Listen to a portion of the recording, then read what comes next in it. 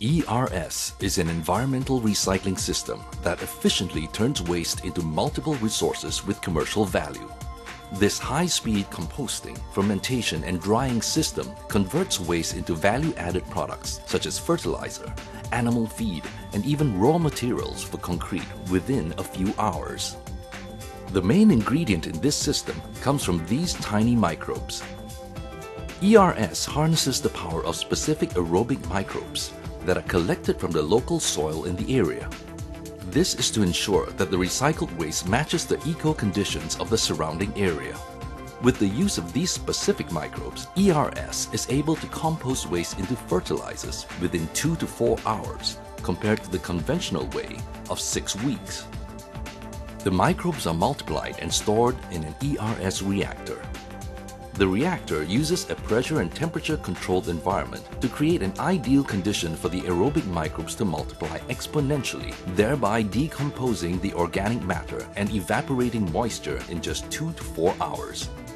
This is compared to conventional composting which takes over 1008 hours.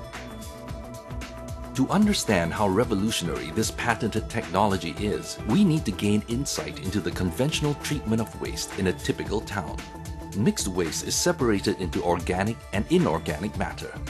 After being crushed in a hopper, the solids and liquids are separated. Solid waste is sent to landfills or public incinerators. This might contaminate the land and releases greenhouse gases into the air. Burning the waste also takes up a large amount of energy.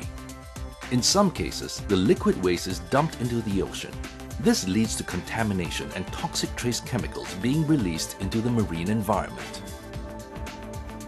Using the simple and compact ERS, both solid and liquid waste can be treated at the same time. The microbes digest the waste, turning solid matter into fertilizer or animal feed. Water content will be recovered by the heat exchange and used back in the system's cooling tower. No odors are released and energy costs are kept low by recycling the fermentation heat.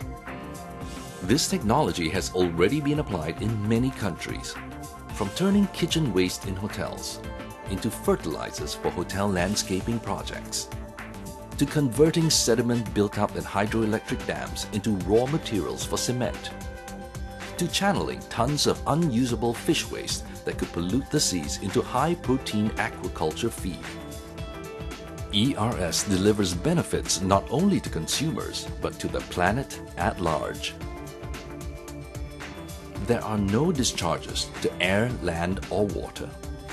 The plant is hermetically sealed and all process emissions are recovered and then recycled, leaving no residual substances such as greenhouse gases and odors.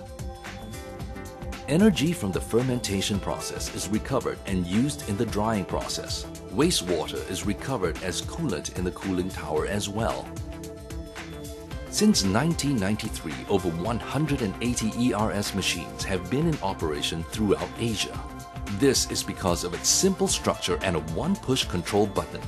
Only motors, pumps and some other rotating device require maintenance no microorganisms or bacteria are brought from abroad and all the processes are undertaken under local conditions. This minimizes environmental problems caused by bacterial contamination.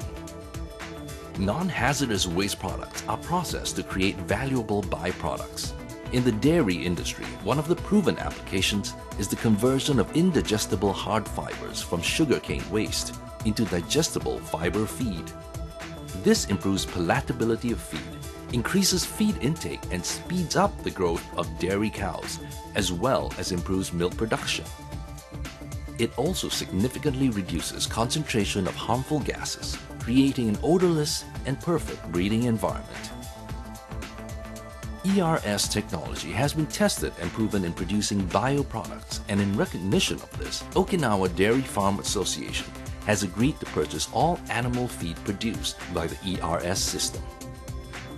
By finding new uses for and giving additional life to products and materials that would otherwise burden our landfills and pollute our skies and water, ERS has proven that it can solve one of the biggest problems facing the planet.